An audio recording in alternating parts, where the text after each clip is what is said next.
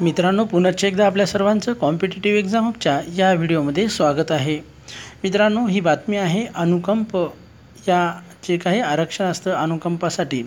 त्या अनुकंपाच्या आरक्षणाशी संबंधित अतिशय महत्त्वाची बातमी आहे. कारण बरेचसे अनुकंप हे धारक उमेदवार असतात आणि कालांतराने ते अनुकंपासाठी पात्र धरल्या जात नाहीत ग्राह्य धरल्या जात नाहीत. त्याच्यामागचं नेमकं कारण काय? आणि त्याची संबंधित हे एक प्रकरण आहे.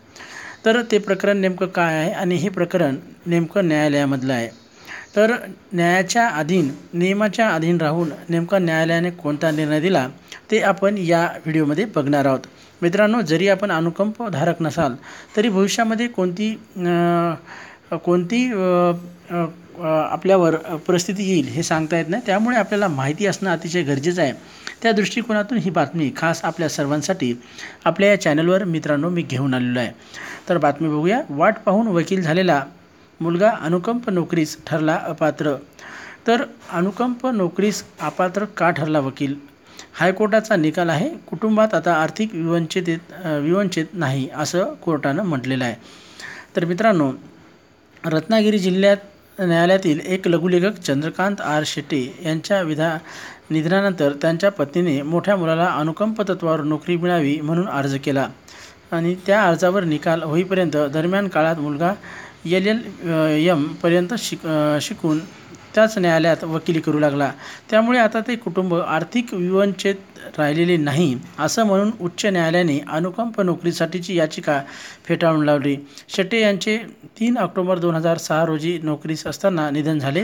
त्याच्या पश्चात पत्नी स्नेहल व दोन मुलगे असा परिवार होता. त्यावेळी मोठा मुलगा गौरव अकरा वर्षाचा होता व इयत्ता आठवीत शिकत होता. स्वतः स्नेहल फक्त नवीच पास असल्याने त्यांनी गौरवला अनुकंप नोकरी मिळावी म्हणून अर्ज केला. गौरव सज्ञान होईल तेव्हा त्या अर्जाचा विचार होऊ शकेल असं त्या वेळेस कोर्टाने त्यांना सांगितलं. पण गौरव गौरव सज्ञान झाल्यावर एप्रिल दोन हजार अकरामध्ये पुन्हा अर्ज केला गेला व तो ऑगस्ट दोन हजार तेरामध्ये फेटाळला गेला.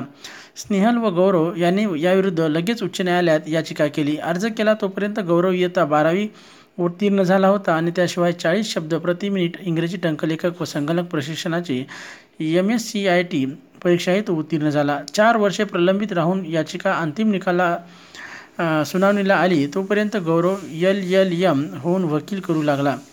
नोकरी मिळावी तर आपण ती करण्यास तयार आहे मिळाल्यास ती तयार आहे असं त्यांनी म्हटलं. परंतु मुळात चंद्रकांत यांचे निधन झाले तेव्हा ही शेट्टे कुटुंबाची आर्थिक स्थिती अनुकंपा नोकरीच्या नियमात बस बसेल एवढी खराब नव्हती.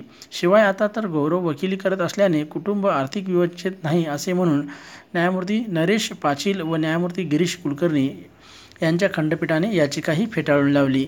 अनुकंप नोकरीसाठी उच्च न्यायालयात प्रशासनाने सन दोन हजार सतरामध्ये जारी केलेल्या सुधारित मार्गदर्शकतेतील नियम क्रमांक सात ए व बी च्या वै वैधतेस दिलेले आव्हानही अमान्य केले गेले. तर याला नोकरी का मिळू शकली नाही? अर्ज केला तेव्हा गौरव पदवीधर नव्हता. त्याने अर्ज केलेला केलेल्या क वर्ग पदासाठी ती शैक्षणिक अर्हता होती. इंग्रजी टंकलेखक येत न असेल तरी गौरवला मराठी टंकलेखन येत नव्हते.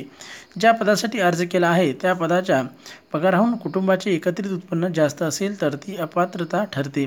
शेट्टी कुटुंबाचे उत उत्पन्नही त्याहून जास्त होते.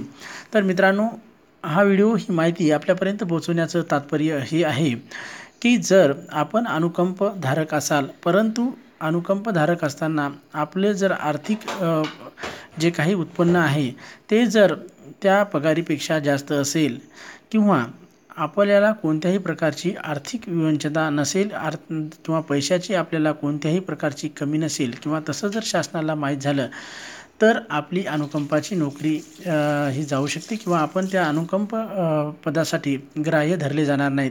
तर हे आहेत असे अनुकंपाशी बाबतीत नियम.